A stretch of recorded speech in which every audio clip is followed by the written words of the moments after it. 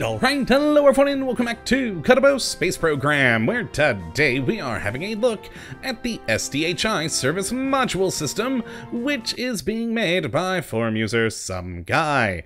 And what this glorious little piece of work looks to add into the game is a number of service module parts to go along with the already in-game Mark 1-3 command pod. So let's jump right into the vehicle assembly building and have a look at what we do get. And now since this does work, or well, is meant to go with the Mark 1-3 command pod. Let's pop that right on in there, and then turn on our Janitor's Closet mod filter, just leaving on SDHI. And the first part is not in command pods, nor in fuel tanks, but is in engines, with the sort of main service module here, the SDHI service module. Pop that right on there, and it has a built-in engine producing 60 kilonewtons of max thrust in vacuum with a max ISP of 345 using liquid fuel and oxidizer. Now it also does have a fuel cell converting liquid fuel and oxidizer into electric charge and then also holds a battery for electric charge of 200, a fuel tank of 360 liquid fuel, 100 monopropellant, and 440 oxidizer. All in all, a pretty wonderful little service module here. Now, we then have nothing in command and control control nor in structural, but in coupling we got a couple of parts. The first being the SDHI crew module adapter, which is intended to sort of not quite go there, but then the service module attached below it. And then we also have the SDHI spacecraft adapter, which is meant to connect the service module to the rest of your rocket. Both of which being good quality decouplers, but the crew module adapter also having built into it a reaction wheel and SAS. Always good to have. Now in payload, nothing. Aerodynamics though, we got two more things.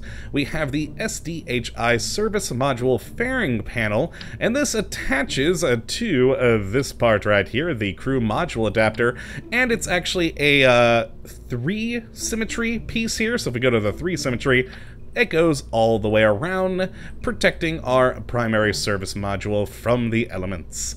And we then have the SDHI Mark 1-3 Pod Boost Protection Cover, which is meant to, well, cover up the Mark 1-3 to keep it safe. Though uh doesn't quite go there yet, there's a few other parts we gotta put together first.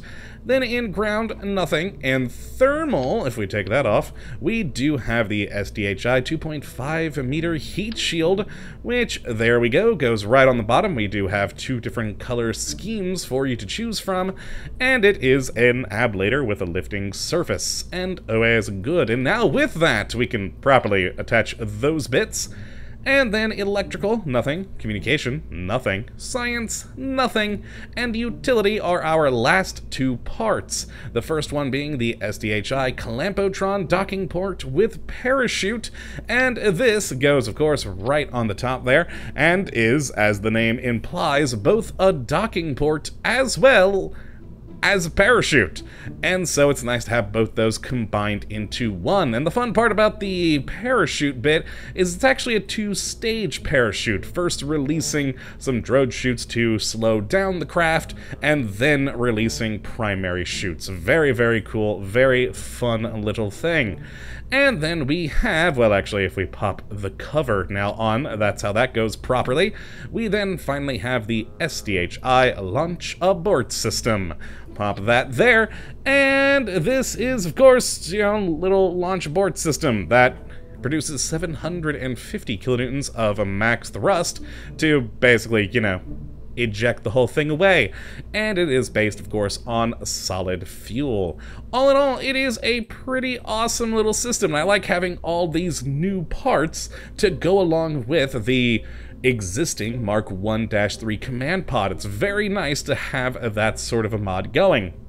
And this is in fact one of those mods I can't believe I haven't looked at. it. It's been around for a while, but I only noticed it recently when it updated to 1.6, so I'm very happy to finally see this as it is a lovely little selection of things. Now let's actually, to take a look at it in use, go and load up the, oh god, what did I call this thing? I think I just called it the name of the save file. There we are, the SDHI service module system, and we're going to launch it up a little bit with just a tiny amount of fuel just to get into the air to see all the parts functioning. So let us go to a launch and have a look at how this all works. Now, I should actually uh, mention a few things that I probably should have mentioned before, but there are some dependencies for this mod, and that, of course, is animated decouplers and RealChute parachute system, and that's what allows these things to function properly, and, of course, the usual module manager that everything needs.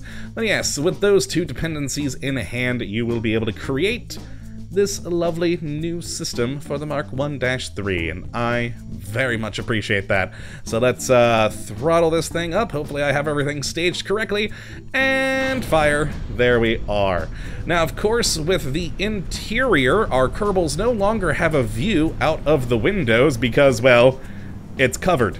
so if you're looking to uh, look out at the world while you fly, well, that's not going to happen. So let's actually start by dropping the uh, fuel tank engine and the three fairings there. Launch those. Lovely. We're then going to uh, launch off the uh, pad boost protector with the, well, abort system. Not really intended for that, but oh well, it makes it fun because we can launch it away! There it goes. And then throttle up our engine here on the service module. Very good. And we could, if we so desire, start producing some some uh, energy with the fuel, but let's turn that off. That is unnecessary, and so is the engine. Let us start falling back down to terra firma so we can then see the parachutes in action. Probably shouldn't have let us go up this high, but yeah, oh well, it works. Oh, there go the other parts. Hello! Alright, so let's release the first stage of the chute. As you can see, we just have two tiny little chutes, which are going to help slow us down, and then they are going to completely fill in a little bit to give us much more of a slowdown. And then the main chutes will open after that. There we go. They're open, and in a second they should release. Excellent. And there go the primary chutes. Perfect, perfect.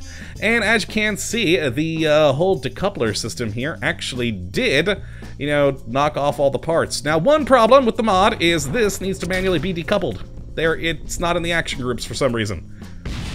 Or the staging, rather. You could add that to an action group, but, I mean, or you could right click like I just did. One of the two, whichever you do prefer.